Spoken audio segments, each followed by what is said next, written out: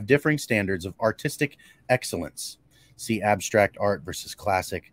Um, is there only one standard art beauty, or has God designed us to value beauty differently? I think that's a really great question. I think that gets to the heart of some of our modern issues with uh, this kind of relativistic, you know, nothing is nothing is uh, you know itself. It's it's all up to interpretation. It's all kind of muddled in the middle. Um, and at this point, I think that's that's part of the reason why art stopped being emphasized in the way that it was, uh, is that it became something that isn't.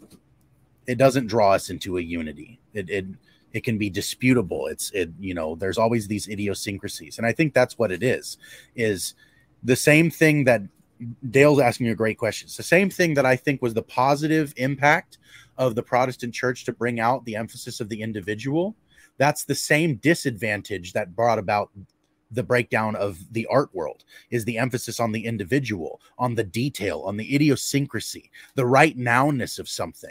Art used to be a way of condensing vast arrays of reality down into something really small really you that's what an icon is to be honest with you. We in the modern world in the digital age we're using this language for something completely different. On my desktop not my real desktop but the digital one i have on a screen on that desktop i have a folder. Not a real folder. It's just a picture of a folder that represents what folders actually do right? And what we call it is an icon. An icon is just this condensation, this distillation of all this information inside down to this little thing. You see the thing and you're like, I know what's in there.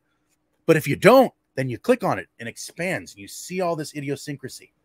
I think the reason why we can't have just the idiosyncrasy outside of a standard where there's that thing, it can't be condensed back down.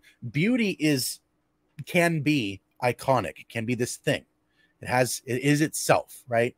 But then there also is this fractal nature where you can see like in the picture that I that I brought up of a dying house with living walls. It's very weird, right? But you can see beauty in there. And yet there's somebody with perhaps their idiosyncrasy or their cynicism would look at that and say, "Well, that used to be beautiful, but now it's just wrecked." Mm-hmm. Right? I think that that that that drawing out of the individual opinion and raising it to the standard, I think the individual opinion isn't the standard. I think the individual opinion is our privilege, but it isn't the standard. And I can be wrong about what's beautiful. I really do think that. I don't think that what's beautiful can be weighed and measured in an empirical, scientific sort of way. Um, but I don't think that me- means that it isn't something that is, let's say, more objective than not. Um, what do you, what do you guys think?